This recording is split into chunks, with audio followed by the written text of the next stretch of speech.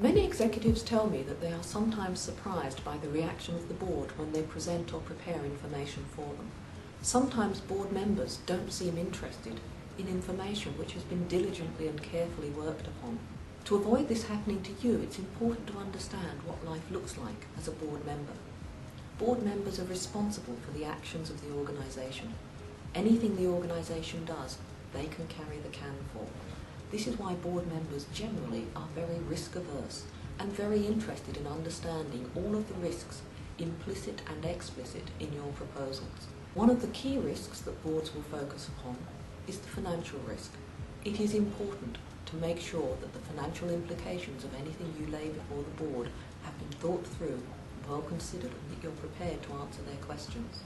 A second key risk is the risk of government or regulatory action. Think this one through and again have some answers ready. Third risk is usually human resources.